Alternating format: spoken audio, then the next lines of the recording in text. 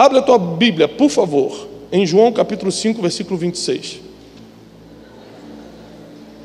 Porque como o Pai tem vida em si mesmo, assim deu também ao Filho ter a vida em si mesmo. Abre a Bíblia, por favor, em Eclesiastes 7, 12. Mas abre rápido, irmão. Eclesiastes 7, 12.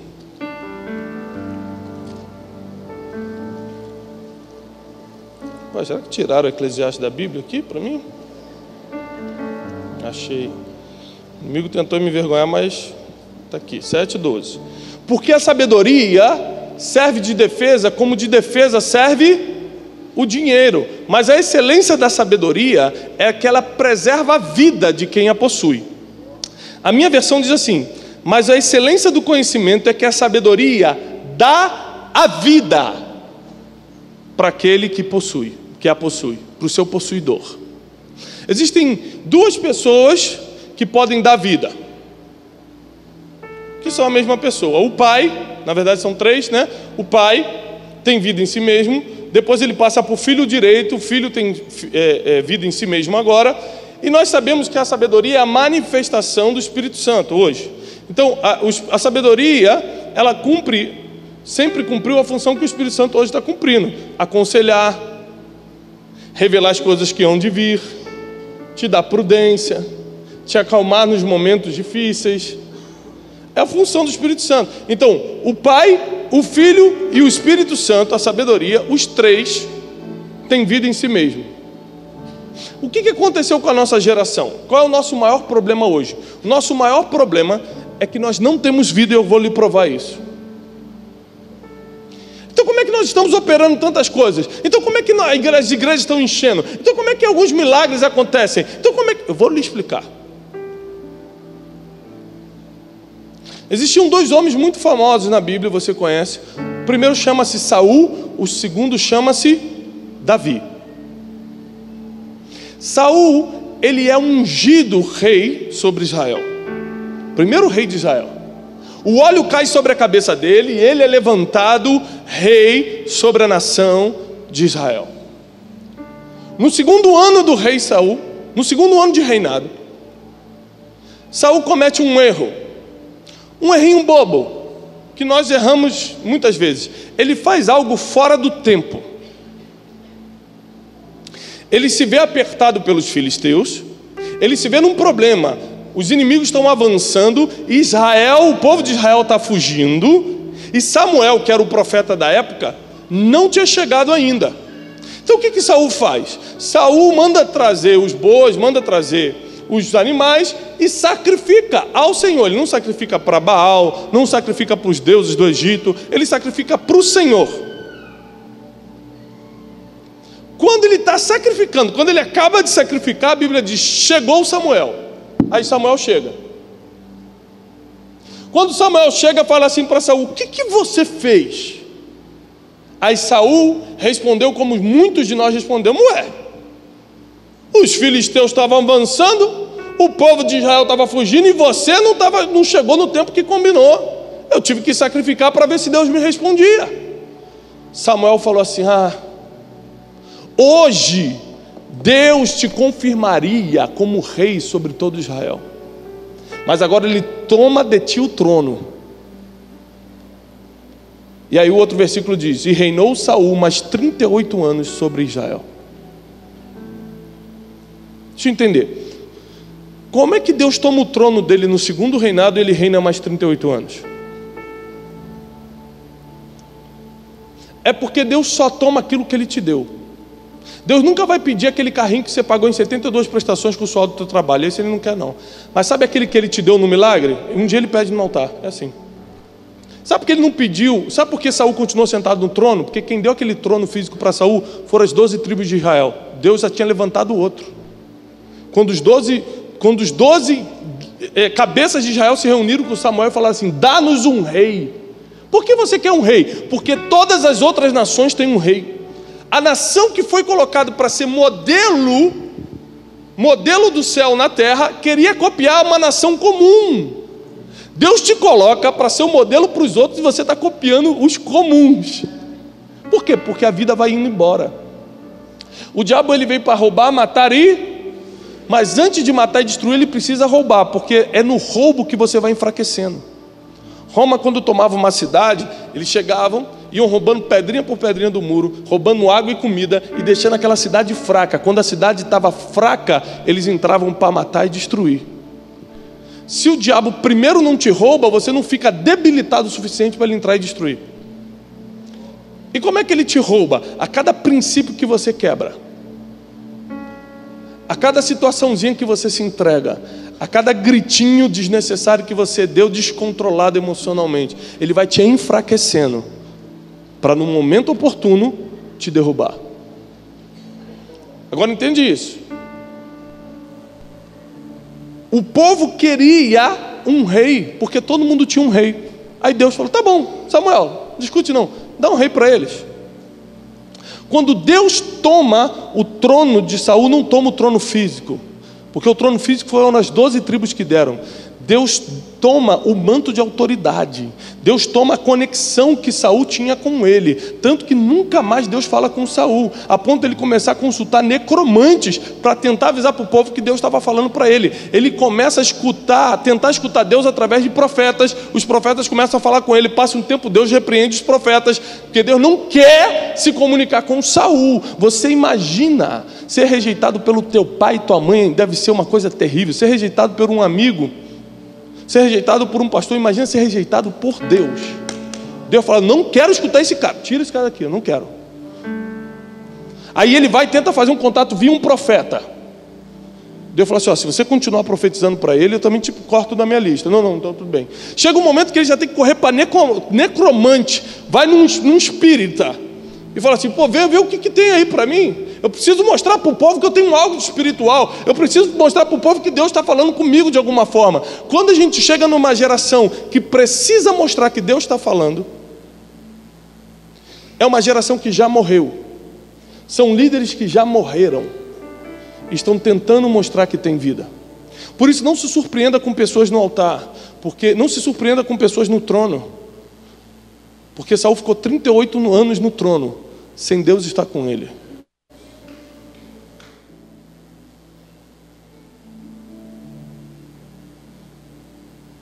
Abre comigo rapidinho Êxodo 33, porque vai ser poderoso.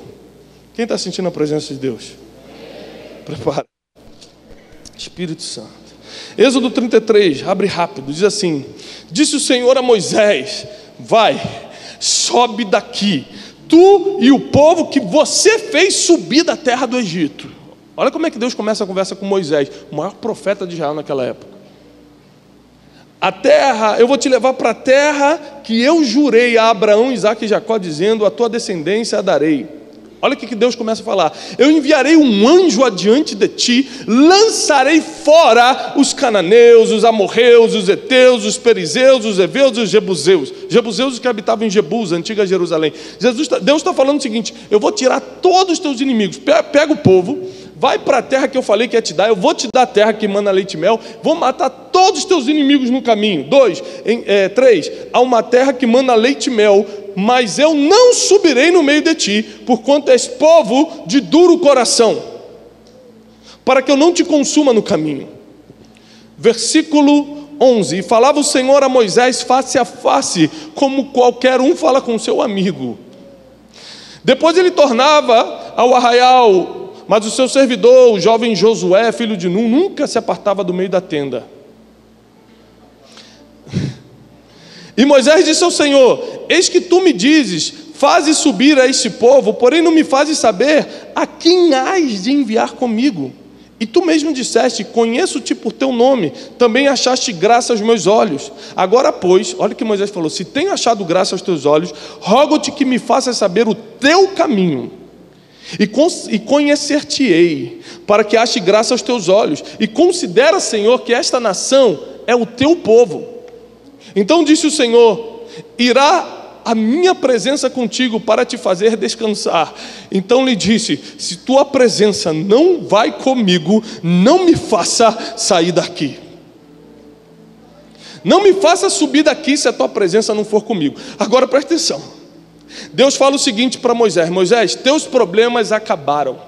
Eu vou te colocar na terra que eu prometi, é terra que mana leite e mel. Eu vou mandar anjo na frente que vai matar todos os teus inimigos, não vai ficar um vivo, e eu vou cumprir tudo que prometi, mas a minha presença não vai. Então Moisés fala assim: Olha só, eu sei que eles erraram, o povo é de duro coração, mas é o teu povo. E tem mais, Senhor, se a tua presença não for, pode ir anjo matando inimigo no caminho, pode ter terra que manda leite e mel na frente, se a tua presença não vai comigo, não me faça sair daqui.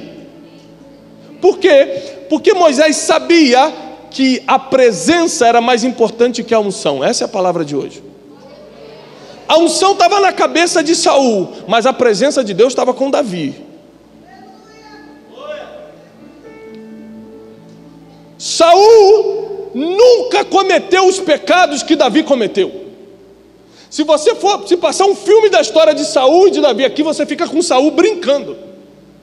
Saul nunca matou inocente, não pegou mulher dos outros, não matou criancinha. Davi fez tudo isso. A Bíblia diz que ele entrava em aldeia, matava até as criancinhas. O que, que eu faço? Eu encontro com um homem que já matou uma criança.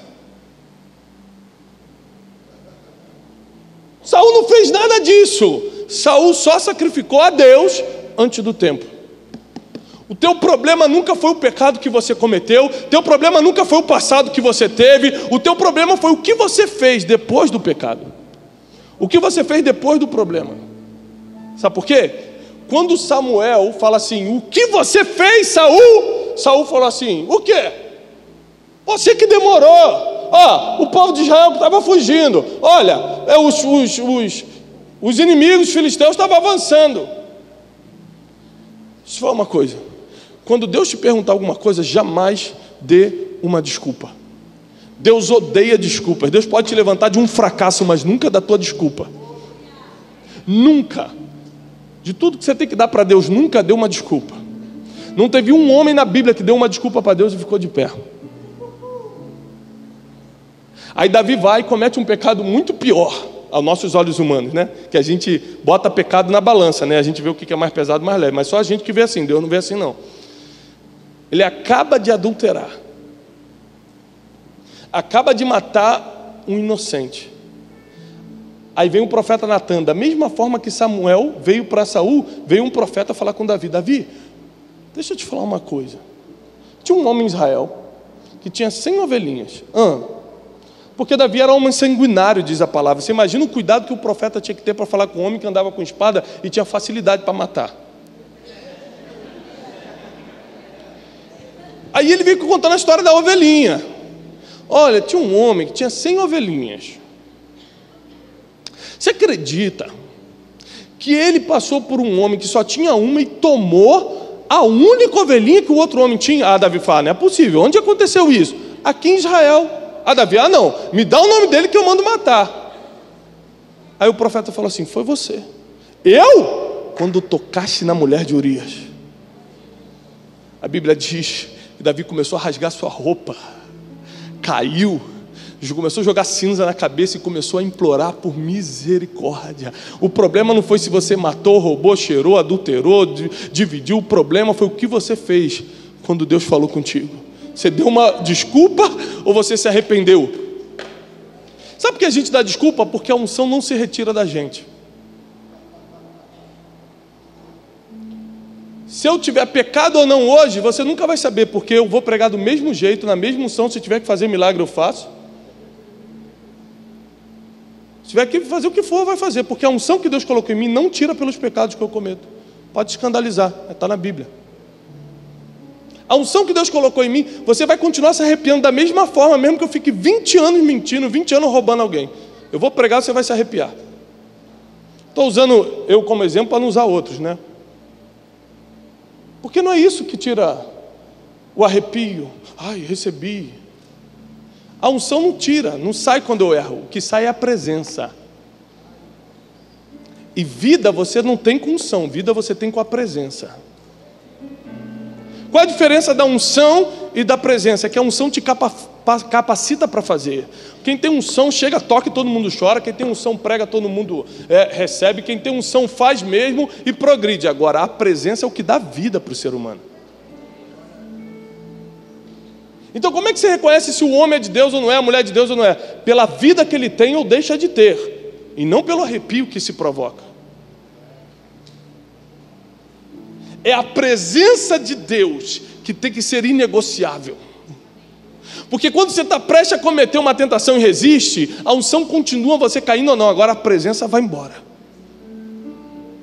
A vida começa a ser roubada aos poucos. O diabo veio para matar, roubar, destruir. Ele começa a te roubar aos poucos, tirando a presença pouquinho por pouquinho. Quando você, em vez de ter inteligência emocional e não responder agora, não é hora de responder, porque senão eu vou gritar e você, sai daqui então! A presença vai saindo. Você pode ter gritado 10 minutos com a tua esposa, você vai subir no puto, vai pregar e o fogo vai descer. Quem não vai te acompanhar mais é a vida. A capacidade para fazer vai continuar. Então, qual é, qual é o problema da nossa geração? Que a gente está com capacitação para fazer as coisas. A gente consegue subir e fazer, mas a vida não está mais com a gente. A gente está morrendo aos poucos, o governo está se desintegrando, a família está acabando, a vida está indo embora, os, os enfermos não estão sendo mais curados, os mortos não estão ressuscitando porque a presença foi embora. E para a gente resgatar a presença de Deus de novo, a gente vai ter que mudar tudo. A gente vai ter que começar a abrir mão de um monte de coisa do que eu acho, do que eu penso, do que eu queria, porque a presença de Deus é o que é inegociável. Davi falou: Desculpa, eu errei, eu rasgo minha roupa, eu faço qualquer coisa. Deus, não, não, não, eu vou pesar a mão sobre você. Pode pesar, mas não saia, que a tua presença não saia daqui. Deus falou para Moisés: Te dou terra prometida, te dou vitória sobre os inimigos. Não, não, não, eu abro mão disso. Se tua presença não vai comigo, não me faça sair daqui. Eu quero é ter vida, eu quero ter vida, eu quero que a vida ande comigo. A vida está na presença de Deus. A vida não está na unção que você carrega, na capacidade que você tem para fazer as coisas. Irmão, quando Deus me mostrou isso, eu comecei a chorar no meu quarto falei, Senhor, pelo amor de Deus, me ajuda então. Porque quando eu vou saber se eu sou usado ou não por ti? Porque há de se convir que eu já aprendi como fazer. Você já, já aprendeu a fazer o que você. Cadê o guitarrista? Sei lá, o tecladista, vamos usar o tecladista. Que o tecladista sempre é o que está em pecado, né? Então.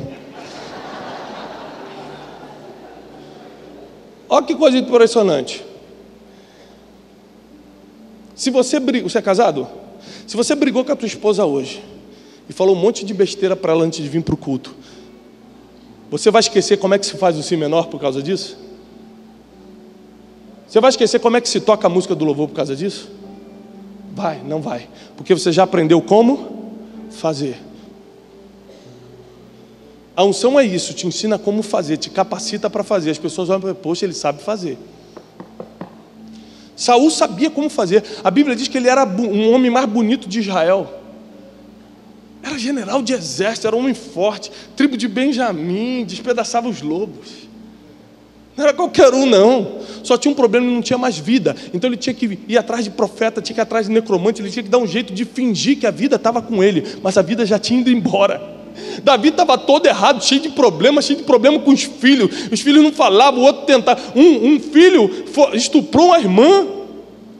É só escândalo. E Deus nunca saiu da presença de Davi, Davi da presença de Deus. Deus nunca saiu do quarto de Davi. Quando Davi ajoelhava, Deus, estou aqui, eu estou contigo. Porque não era pelo erro, não era pelo pecado, era porque, por causa do coração. O povo de Israel tinha coração duro, Deus não queria mais ficar. Davi era pecador, tinha coração mole, Deus queria ficar com ele.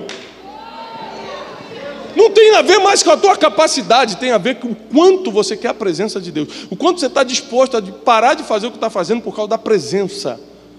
Porque a capacidade para fazer vai sempre estar contigo, meu irmão. Se Deus te deu, os dons são irrevogáveis, está contigo, está contigo. O que eu quero agora é ter vida.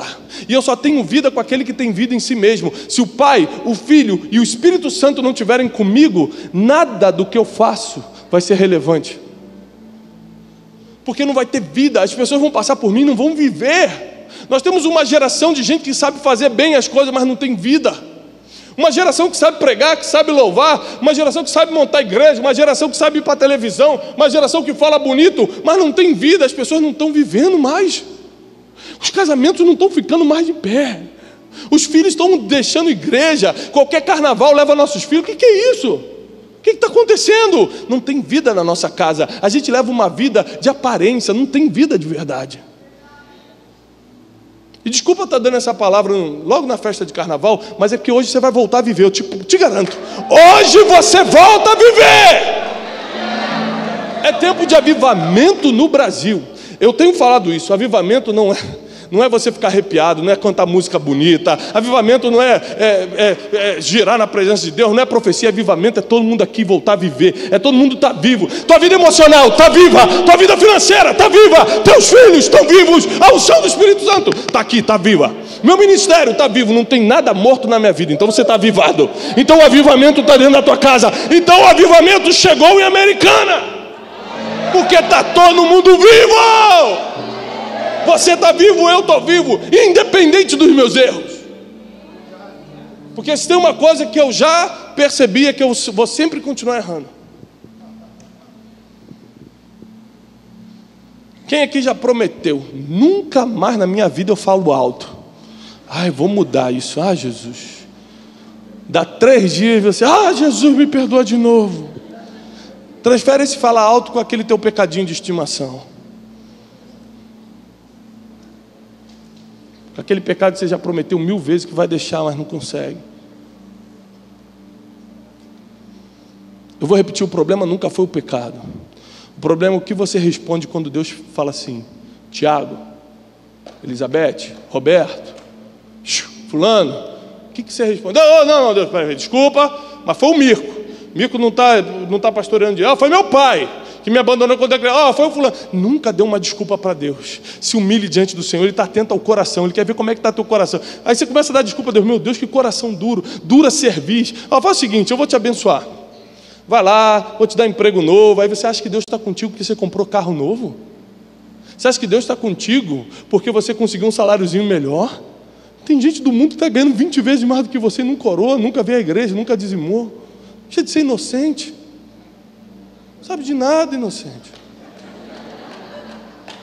Chegou a hora da gente amadurecer na fé. Deus não está preocupado se você está com carro, está com camisa de marca. Tá... Deus está preocupado se você tem vida ou não. Ele, ele não trabalha com certo e errado, ele trabalha com verdade e mentira, vida e morte. Pastor, eu posso escutar música do mundo? A gente sempre pergunta isso porque a gente quer saber. O ser humano ele tem, ele tem uma necessidade de saber o que é certo e o que é errado. E quando ele quer errar, ele busca uma aprovação. Mas você não acha que qual é o problema? É, é certo ou errado? O problema não é se é certo ou errado, o problema é se você vai ter vida ou vai ter morte. É verdade ou é engano? Não é se é certo ou se é errado. Eu vou crescer, eu vou ter mais vida com essa música ou vou ter mais morte com essa música?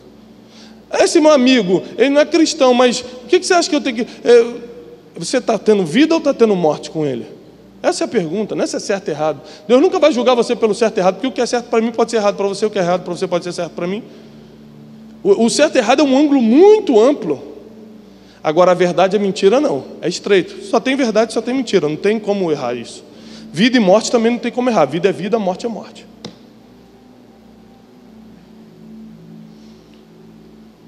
Vida é vida, morte é morte. E Deus te chamou para a vida e que tenha vida em abundância.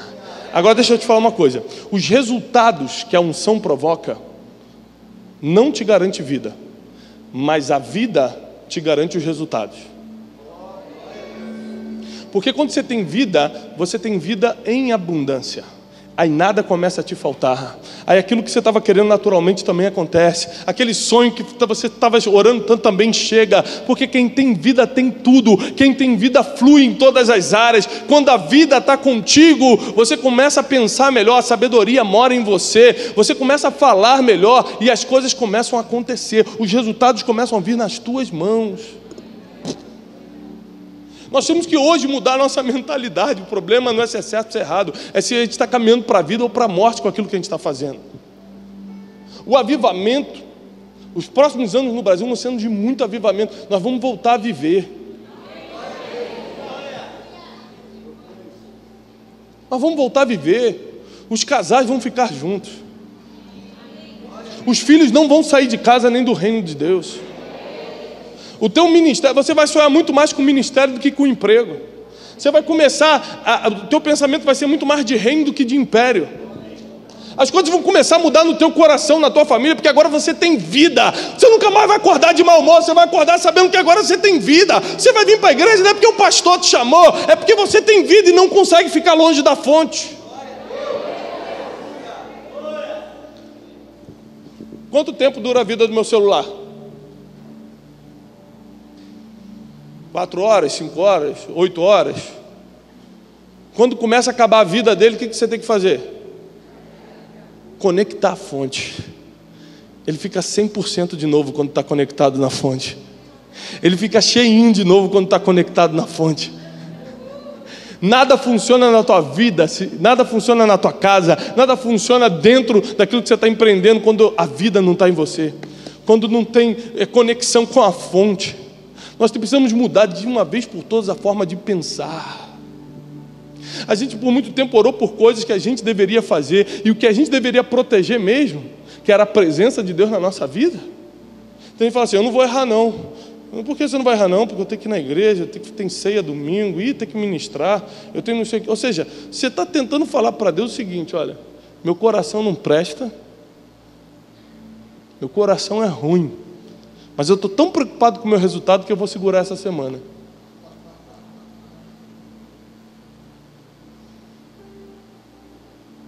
Enquanto Deus está atento somente ao coração e não está nem aí, porque você tem ou deixa de ter. Por quão grande é o teu ministério, quão grande é o teu chamado. Ele mesmo que te deu, ele nunca vai se impressionar com algo que ele te deu. Não tem nada que você possa fazer que impressione a Deus. A única coisa que faz ele sair do trono para mover a teu favor é quando ele olha o teu coração e encontra o coração quebrantado e contrito. A Bíblia diz que um coração quebrantado e contrito ele não pode resistir. Quantas vezes eu estava numa rodinha e começaram a falar mal de um pastor? Eu falei, dá licença, eu vou sair. Porque eu não queria que a presença de Deus saísse da minha vida. Eu não queria que o diabo entrasse ali e roubasse um pouquinho da minha energia. Quantas vezes eu estava numa situação que eu podia prejudicar alguém que me prejudicou e dei um passo para trás. A unção ia continuar se eu fizesse, eu ia continuar pregando do jeito que eu prego se eu fizesse, mas eu estava preservando é a presença, eu queria ter vida, eu quero dormir e sentir o Espírito de Deus, eu quero ajoelhar e ficar arrepiado na presença, meu Deus, Deus está aqui, eu quero começar a entoar louvores no meu quarto e o Espírito Santo me invadir, eu não quero abrir mão da presença, eu não quero abrir mão da vida. Eu não quero abrir mão da vida, eu já entendi que o que Deus me deu, Ele não vai tirar. Então eu já não estou fazendo mais para agradar homens e nem para agradar meu próprio ministério, eu só quero que a presença não se retire da minha casa. Eu quero que depois que eu me vá, meus filhos lembrem que tinha a presença de Deus na nossa casa. Eu quero que meus netos, meus bisnetos, Jesus não voltar antes, sejam impactados com a glória de Deus que começou na minha casa, na minha vida, nos meus pais, nos meus avós porque a presença vai tomando tuas gerações, a presença de Deus vai preservando as tuas gerações, a tua descendência na terra. A presença de Deus vai te dando vida. Todo mundo foi mandado embora, você não foi, por quê? Porque você é a esperança de vida naquele lugar. Quando a vida está em você, todo mundo quer estar perto da fonte de vida. Tinha mil candidatos, só você foi escolhido, porque as pessoas sentem o cheiro de vida. Agora deixa eu te falar uma coisa. Você pode ter unção que foi, muitos aqui têm unção. Uma pessoa, ela se conecta a você com a tua unção hoje, quando vê alguém com outra unção, vai para o outro. Com a vida não é assim, não.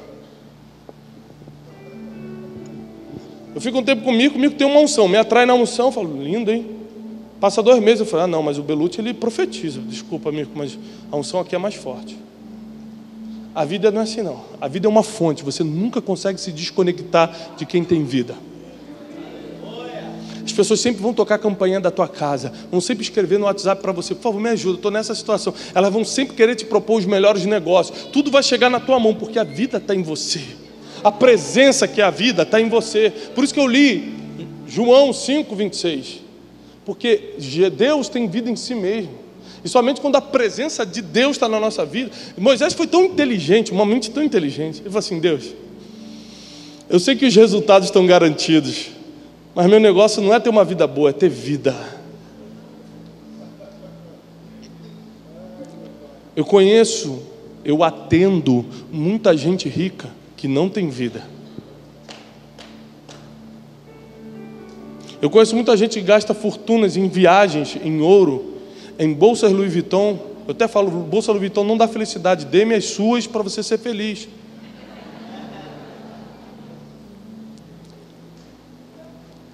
Mas está em depressão. Porque os resultados nunca te dão plenitude, os resultados não te completam, só a vida te dá sentido. Só a vida te dá sentido. Então o que nós temos que lutar a partir de hoje? É pela presença de Deus. Senhor, o que eu quero mesmo é a tua presença. Eu tenho que administrar minhas finanças, eu tenho que lidar com o meu emocional, eu tenho que ser líder de mim mesmo. Eu quero fazer parte dessa geração que tem destino, sabe para onde está indo. Senhor, mas o mais importante de tudo isso é manter a presença. A presença de Deus tem que estar na minha casa. Quando eu orar, a presença de Deus tem que se manifestar. Quando eu profetizar, tem que se cumprir. Se eu botar a mão no enfermo, vai ter que ser curado. A presença acompanha quem tem vida. E a vida acompanha quem está na presença. Agora, a unção é muito importante. Porque a unção vai te capacitar para fazer as coisas que a vida vai te mostrar. Que o próprio Deus vai te mostrar. Sem unção, você não consegue estar no altar sem unção. Você não toca no teclado. Sem unção, você não vai ser um empresário de destaque. É unção para governar, a unção de adquirir riquezas. Isso tudo são coisas que Deus te capacita. Isso é, é lindo, é tremendo. Não estou desfazendo a unção, ao contrário. Eu só estou te falando que a presença é mais importante do que a unção. E que a unção você não perde. A capacidade você não perde. O chamado continua. Mas a presença, mas a vida pode ser roubada aos poucos. E quando já não tem mais vida, o diabo vê a oportunidade para matar e destruir. Quando a presença não está mais, você está sem a proteção. Deus quer fazer você voltar a viver hoje à noite. Tem muita gente que está vindo à igreja há dias, há meses, há anos, e sabe que tem áreas da vida que está morta. É por você que eu quero orar. Porque presta atenção, quando eu faço uma autoanálise na minha vida, eu encontro sempre áreas mortas, sempre. E todo dia eu tenho que me humilhar diante de Deus. Todo dia, não é força de expressão, não, é realidade. Todo dia eu tenho que me humilhar na presença de Deus e falar: Deus, se eu der uma semana de guarida, essa área volta a morrer. Me ajuda. Porque a presença de Deus é algo que você quer buscar todo dia. Todo dia você tem algo para se quebrantar diante de Deus. Deus me perdoa, Deus me ajuda, Deus me sustenta, Deus me levanta, Deus me, Deus fica comigo. Tem dias que a presença de Deus fica tão viciante que você entra na presença de Deus, não sabe nem porquê, não tem nada para pedir, você só quer chorar um pouco.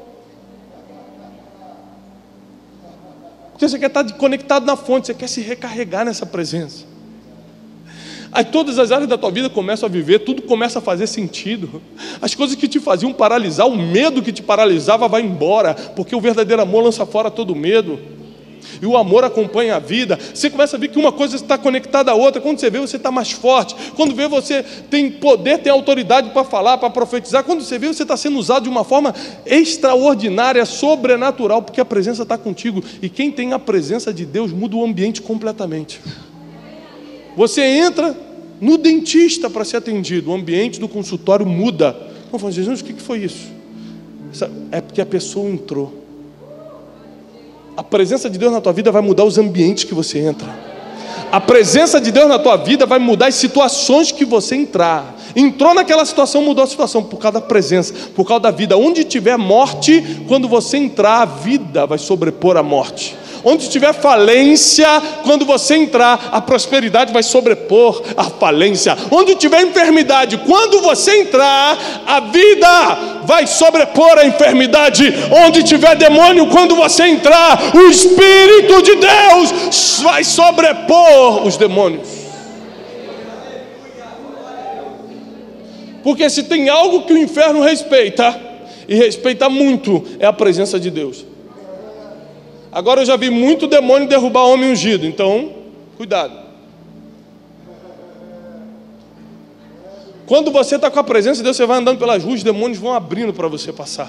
Você entra no ambiente, muda porque eles saem. A enfermidade não consegue ficar diante da presença. O teu problema do casamento não vai persistir por causa da presença. Os teus filhos vão voltar para casa por causa da presença. A presença de Deus vai atrair quem tem que voltar e vai tirar quem tem que sair.